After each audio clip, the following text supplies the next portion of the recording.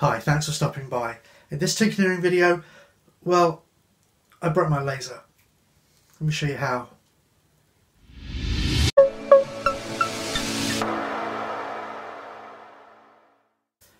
So I went to use the laser and it wouldn't turn on. I double checked it'd been turned on at the wall and it wasn't that. I checked the emergency stop button hadn't been depressed and it wasn't that either. So after turning off the power, I opened up the control panel to see if I could spot anything that was obviously wrong.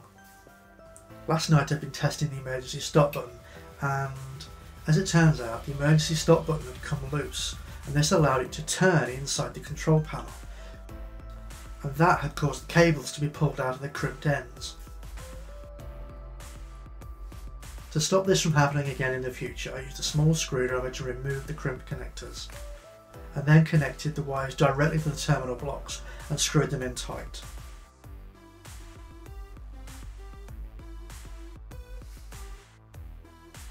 I could then reconnect the power and see if that had fixed the problem.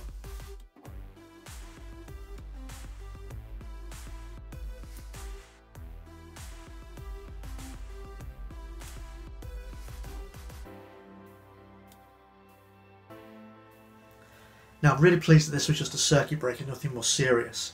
It's just one more thing to keep an eye on with this machine. Like the laser tube itself. I know that's got a few hundred more hours left in it though, so that's something I can worry about later. Right now the laser's up and working and ready for another project. But that's it for this one. I'll see you again soon.